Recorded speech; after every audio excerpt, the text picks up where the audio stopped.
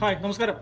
നമ്മളുടെ ഏഷ്യാനെറ്റ് ന്യൂസിന്റെ വെബ് പ്ലാറ്റ്ഫോമിലെ ചൂടുള്ള വാർത്തകളിലേക്ക് എല്ലാ പ്രേക്ഷകർക്കും സ്വാ- സ്വാഗതം. ഏതാണ്ട് ആറ് മണിയാകാൻ ഇനി ഏതാണ്ട് ഒരു ഒൻപത് മിനിറ്റ് കൂടിയാണ് ശേഷിക്കുന്നത്. ആ സമയത്താണ് നമ്മുടെ എൻ ന്യൂസ് ടൈം വരുന്നത്. ആ ന്യൂസ് ടൈമിലുള്ള പ്രധാന വാർത്തകളാണ് നമ്മൾ മിക്ക ദിവസങ്ങളിലും പ്രേക്ഷകരുമായി വെബ് പ്ലാറ്റ്ഫോമിലുള്ള പ്രേക്ഷകരുമായി പങ്കുവെക്കുന്നത് ഇന്ന് ഏതാണ്ട് ഏഷ്യാനെറ്റ് ന്യൂസിലെ ന്യൂസ് ടൈമിൽ ഉൾപ്പെടുത്തിയിരിക്കുന്നത് ആറ് അഞ്ച് ഹെഡ്ലൈനുകളാണ് ഇതുവരെ ആയിട്ടുള്ളത്. ഹെഡ്ലൈനുകളൊക്കെ തയ്യാറായിക്കൊണ്ടിരിക്കുന്നേ ഉള്ളൂ. ഇനി നമ്മുടെ മുമ്പിൽ ഒരു പത്ത് മിനിറ്റ് സമയം കൂടിയുണ്ട് അവസാന നിമിഷമുള്ള അപ്ഡേഷൻസ് ഒക്കെ വന്നുകൊണ്ടിരിക്കുന്നു പല ബ്യൂറോകളിൽ നിന്നും. എന്തായാലും ഇന്നും ഏറ്റവും പ്രധാനപ്പെട്ട ഒരു വാർത്തയായി നമ്മുടെ മുമ്പിൽ ഉള്ളത് കഴിഞ്ഞ കുറേ ദിവസങ്ങളായി കേരളത്തിൽ ഉണ്ടായിക്കൊണ്ടിരിക്കുന്ന പ്രളയം തന്നെയാണ്. അതുതന്നെയാണ് ആദ്യത്തെ ഹെഡ്ലൈനായി ഇന്നും ഇടം പിടിക്കുന്നത്. വയനാട്ടിലും മലപ്പുറത്തും വീണ്ടും ഉരുൾപൊട്ടൽ ഉണ്ടായി എന്നൊരു വാർത്തയാണ് കുറേ നേരമായി നമ്മുടെ ഹെഡ്ലൈനിൽ ഇടം പിടിച്ചിരിക്കുന്നത്. ആ വാർത്ത തന്നെയാണ് എൻ ജിയിലും ന്യൂസ് ടൈമിലും എച്ച് എൽ ഐ ഹെഡ്ലൈനായി ഇടം പിടിച്ചിരിക്കുന്നത്. ബാണാസുര സാഗർ അണക്കെട്ടിൽ നിന്ന് കൂടുതൽ വെള്ളം പുറത്തേക്ക് ഒഴുക്കിവിടും എന്നൊരു വാർത്ത കൂടി വരുന്നുണ്ട്.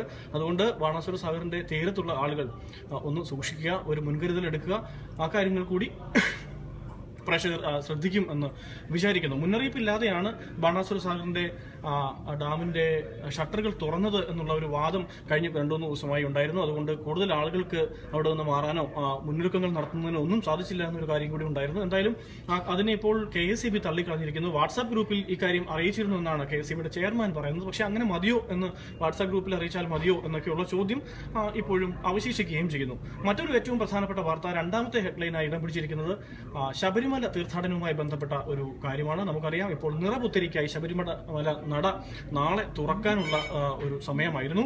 അപ്പോൾ എന്തായാലും പറഞ്ഞിരിക്കുന്നത് ദേവസ്വം ബോർഡ് പറഞ്ഞിരിക്കുന്നു നിറപുത്തരിക്കായി ശബരിമല നട നാളെ തുറക്കാണ്ടിരിക്കുമ്പോൾ തീർത്ഥാടകർക്ക് തീർത്ഥാടകരാരും അങ്ങോട്ട് ചെല്ലരുത്. അതിനൊരു പ്രത്യേക കാരണം കൂടിയുണ്ട്. വലിയ വെള്ളപ്പൊക്കമാണ് ഇത്തവണ ഉണ്ടായിരിക്കുന്നത്. പമ്പയിൽ വെള്ളം കൂടിയിട്ടുണ്ട്. പമ്പയിൽ നിന്ന് മുകളിൽ അപ്പുറം കടന്ന് ശബരിമല ഭാഗത്തേക്ക് പോകുന്നതിന് തീർത്ഥാടകർക്ക് പറ്റാത്ത ഒരു സാഹചര്യമാണ് നിലവിലുള്ളത്. ആ സാഹചര്യം മുൻനിർത്തിക്കൊണ്ട് തീർത്ഥാടകരുടെ സുരക്ഷയെ കരുതിയാണ് ഇത്തരത്തിലുള്ള ഒരു കാര്യം ഇപ്പോൾ ദേവസ്വം ബോർഡ് തന്നെ മുൻപോട്ട് വയ്ക്കുന്നു. തീർത്ഥാടകർ അങ്ങോട്ട് എത്താനുള്ള ഒരു ഇത് കാണിക്കരുത് എന്നാണ് പറയുന്നത്.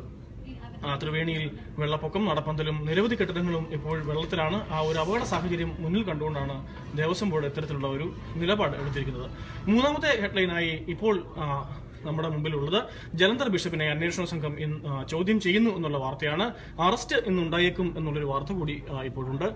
എന്തായാലും ഉച്ചയോടുകൂടി ഇത്തരത്തിലുള്ള വാർത്തകൾ പുറത്തേക്ക് വന്നിരുന്നു.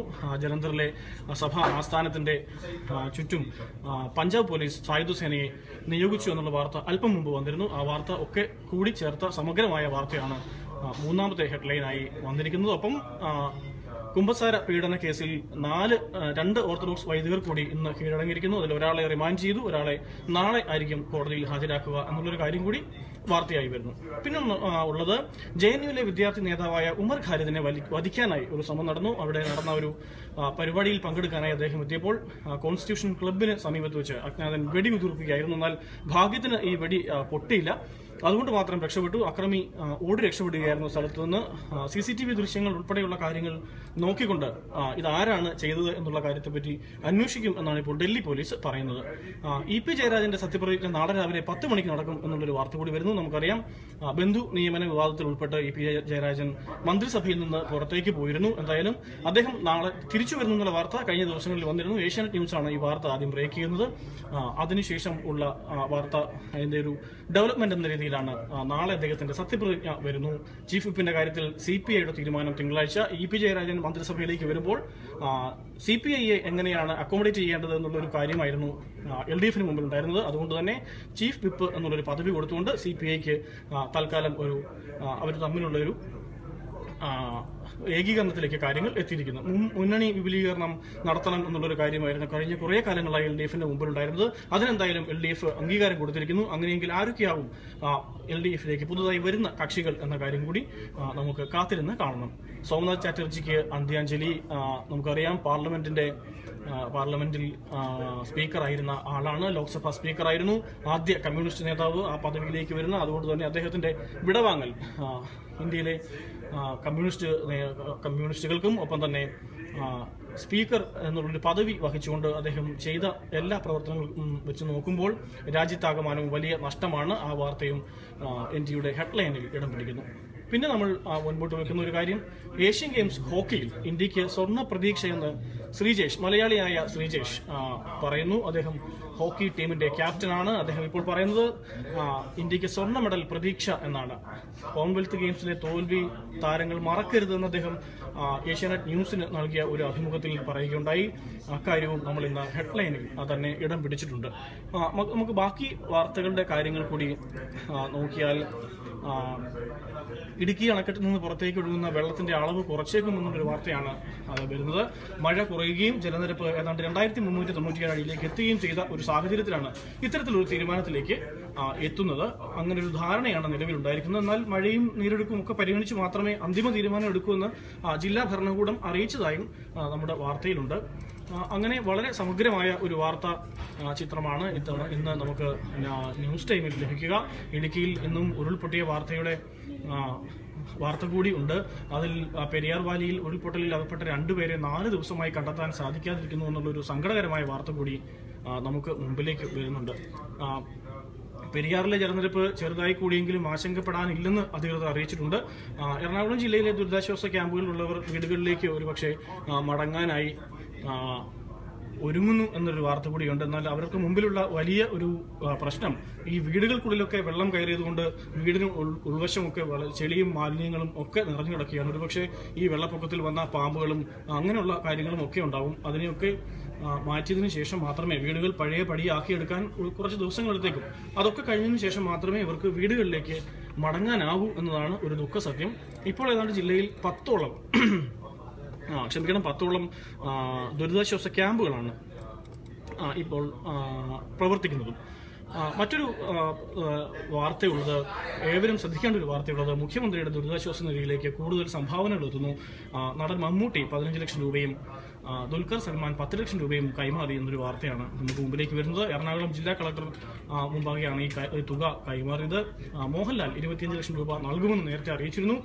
കൂടാതെ വിവിധ താരങ്ങൾ പൈസ മുഖ്യമന്ത്രിയുടെ ദുരിതാശ്വാസ ഫണ്ടിലേക്ക് നൽകുമെന്ന് അറിയിച്ചിട്ടുണ്ട്. എന്നാൽ എല്ലാ ഭാഗത്തു നിന്നും താരങ്ങളുടെ ഭാഗത്തു നിന്ന് ഒപ്പം തന്നെ താരസംഘടനയുടെ ഭാഗത്തു നിന്ന് മറുനാടൻ താരങ്ങളുടെ ഭാഗത്തു നിന്ന് ഇപ്പോൾ തമിഴ്നാട്ടിൽ നിന്നായാലും കർണാടകത്തിൽ നിന്ന് കന്നഡയിൽ നിന്നൊക്കെയുള്ള താരങ്ങൾ പണം നൽകുന്നു കേരളത്തിന് കൈത്താങ്ങുമായി എത്തുന്നു. ഒപ്പം തന്നെ സാധാരണ ജനങ്ങൾ അവരുടെ ഒരു ദിവസത്തെ ശമ്പളം അല്ലെങ്കിൽ ഒരു മാസത്തെ ശമ്പളം ഇത്തരം കാര്യങ്ങളൊക്കെ നൽകിക്കൊണ്ട് മുഖ്യമന്ത്രിയുടെ ദുരിതാശ്വാസ ഫണ്ടിലേക്ക് തുക സമാഹരിക്കുകയാണ്. കേരളത്തിന് ഒരു കൈത്താങ്ങ് നൽകുകയാണ് താരങ്ങളും ഒപ്പം സാധാരണ ജനങ്ങളുമെല്ലാം. ആ വാർത്തയും നമ്മുടെ റൺഡൗണിൽ ഇന്ന് ഇടം പിടിച്ചിട്ടുണ്ട്.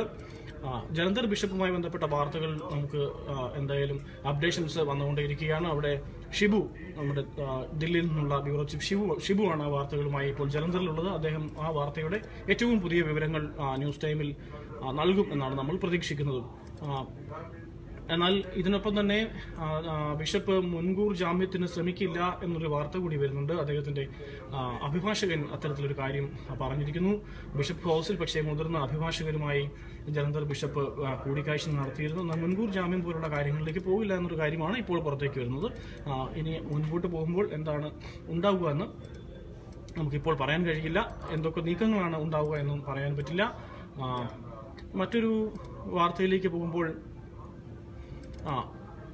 കഴിഞ്ഞ ദിവസം അന്തരിച്ച കരുണാനിധിയുടെ സമാധിയിൽ പുഷ്പാർച്ചനയ്ക്കായി എത്തിയ അഴഗിരി നടത്തിയ ഒരു പ്രതികരണമാണ്. താൻ പാർട്ടിയിൽ ഇല്ലായിരുന്നെങ്കിലും വിശ്വസ്തരായ പ്രവർത്തകർ തന്റെ കൂടെയാണ് ഉള്ളതെന്ന് അഴഗിരി പറഞ്ഞിരിക്കുന്നു. നമുക്കറിയാം തമിഴ്നാട് രാഷ്ട്രീയത്തിന്റെ ഒരു വലിയ ഭാഗതയം നിർണയിച്ച ആളായിരുന്നു കരുണാനിധി. അദ്ദേഹത്തിന്റെ രണ്ടു മക്കൾ സ്റ്റാലിനും അഴഗിരിയും തമ്മിലുള്ള പ്രശ്നങ്ങൾ നമുക്ക് അറിയാവുന്നതായിരുന്നു. അങ്ങനെ ഒരു പ്രശ്നങ്ങൾ നടന്നുകൊണ്ടിരിക്കുന്ന ഒരു ഘട്ടത്തിലാണ് അഴഗിരിയെ പാർട്ടിയിൽ നിന്ന് കരുണാനിധി പുറത്താക്കുകയും പിന്നീട് സ്റ്റാലിനെ പാർട്ടിയുടെ ചുമതല ഏൽപ്പിക്കുകയും ചെയ്തത്. തമിഴ്നാട് രാഷ്ട്രീയം ശ്രദ്ധിക്കുന്ന എല്ലാവരും കരുണാനിധിയുടെ വിയോഗത്തിന് ശേഷം ഉയർത്തിയിരുന്ന വലിയൊരു ചോദ്യവും ഇതായിരുന്നു. അഴഗിരി എന്ത് നിലപാടായിരിക്കും എടുക്കുക? ഒരുപക്ഷെ പാർട്ടി പിടിച്ചെടുക്കുന്നതിനുള്ള നടപടികളുമായി ഒരുപക്ഷെ അഴഗിരി മുൻപോട്ട് വന്നേക്കും. അങ്ങനെ വന്നാൽ അങ്ങനെ വന്നാൽ എന്തായിരിക്കും തമിഴ്നാട് രാഷ്ട്രീയത്തിലെ രാഷ്ട്രീയത്തിലുള്ള ഒരു ഭാവി എന്ന കാര്യം ഒരു ചർച്ചയായി വന്നിരുന്നു. ഇപ്പോൾ ആ ആശങ്കകൾ നിരീക്ഷകരുടെ ആ ആശങ്കകൾ ശരിവെക്കുന്ന രീതിയിലാണ് ഇപ്പോൾ ഈ വാർത്തകൾ കൂടി പുറത്തേക്ക് വരുന്നത്. നമ്മുടെ ചില സുഹൃത്തുക്കൾ ചോദിക്കുന്നു നിങ്ങൾ എന്താണ് മുഖ്യമന്ത്രിയുടെ ദുരിതാശ്വാസ നിധിയിലേക്ക് കൊടുത്തു? എന്നൊക്കെയുള്ള ചോദ്യങ്ങൾ വരുന്നു. ഞങ്ങൾ ഏഷ്യാനെറ്റ് ന്യൂസിലെ മുഴുവൻ സഹപ്രവർത്തകരും ഇവിടുത്തെ എല്ലാ ജീവനക്കാരും അവരുടെ ഒരു ദിവസത്തെ ശമ്പളം മുഖ്യമന്ത്രിയുടെ ദുരിതാശ്വാസ നിധിയിലേക്ക് കൊടുക്കുന്നതിനായി തീരുമാനിച്ചിട്ടുണ്ട്. ഇക്കാര്യം കഴിഞ്ഞ ദിവസം തന്നെ ഏഷ്യാനെറ്റ് ന്യൂസ് പറയുകയും ചെയ്തിരുന്നു. ഇത്തരത്തിൽ വലിയ ഒരു നീക്കമാണ് നടക്കുന്നത്. മുഖ്യമന്ത്രിയുടെ ദുരിതാശ്വാസ നിധിയിലേക്ക് ഏഷ്യാനെറ്റ് ന്യൂസ് പ്രത്യേകമായി ഒരു റിലീഫ് ഫണ്ട് തന്നെ കണ്ടെത്തുന്നതിനുള്ള കാര്യങ്ങൾ ചെയ്യുന്നുണ്ട്. അതിൽ അതിന്റെ പ്രമുഖമൊക്കെ ഇപ്പോൾ ഏഷ്യാനെറ്റ് ന്യൂസിൽ പോകുന്നുമുണ്ട്. പ്രേക്ഷകർക്കും അതിലേക്ക് സംഭാവനകൾ നൽകാം. അത് കൃത്യമായി മുഖ്യമന്ത്രിയുടെ ദുരിതാശ്വാസ നിധിയിലേക്ക് എത്തുകയും ചെയ്യും. ഇത്തരത്തിൽ വളരെ സമഗ്രമായ വാർത്തകളാണ് ഇന്ന് ന്യൂസ് ടൈം മുൻപോട്ട് വയ്ക്കുന്നത്. എന്തായാലും ഇടുക്കിയിലെ വെള്ളം താഴുന്നുണ്ടോ എന്നൊക്കെ ചോദിക്കുന്നുണ്ട് ചില പ്രേക്ഷകർ. ഉണ്ട് തീർച്ചയായും. ഇടുക്കിയിലെ വെള്ളത്തിന്റെ അവസ്ഥയെപ്പറ്റി നമ്മൾ കുറച്ചു മുമ്പ് പറഞ്ഞിരുന്നു. നമ്മൾ ഒരിക്കൽ കൂടി ആ കാര്യം പറയുകയാണ്. നമ്മൾ ഇടുക്കി അണക്കെട്ടിൽ നിന്ന് പുറത്തേക്ക് ഒഴുകുന്ന വെള്ളത്തിന്റെ അളവ് എന്തായാലും കുറയ്ക്കും എന്നുള്ളൊരു വാർത്തയാണ് നമുക്ക് മുമ്പിലേക്ക് വരുന്നത്. മഴ കുറഞ്ഞ സാഹചര്യത്തിൽ ജലനിരപ്പ് കുറയുകയും ഏതാണ്ട് രണ്ടായിരത്തി മുന്നൂറ്റി തൊണ്ണൂറ്റി ഏഴ് അടിയിലേക്ക് ഈ ജലനിരപ്പിനെ എത്തിക്കുന്നതിനുള്ള ശ്രമമാണ് ഇപ്പോൾ നടന്നുകൊണ്ടിരിക്കുന്നത്.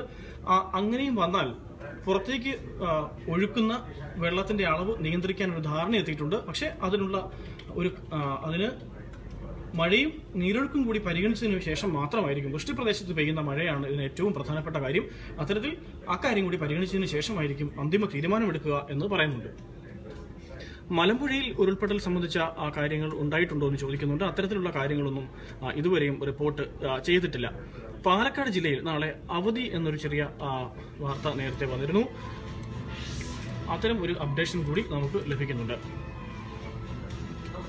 ഏതായാലും കൂടുതൽ വാർത്തകളിലേക്ക് നമുക്ക് പോകാമെന്ന് കരുതുന്നു. സമയം ഇപ്പോൾ ഏതാണ്ട് ആറു മണി നമ്മുടെ ന്യൂസ് ടൈം എന്നുണ്ട് ആരംഭിച്ചു കഴിഞ്ഞിരിക്കുന്നു. പ്രേക്ഷകർക്ക് തിരികെ ടി വിയിലേക്ക് മടങ്ങാമെന്ന് കരുതുന്നു. നമുക്ക് നാളെ ഇതേ സമയം വീണ്ടും കാണാം. നമസ്കാരം.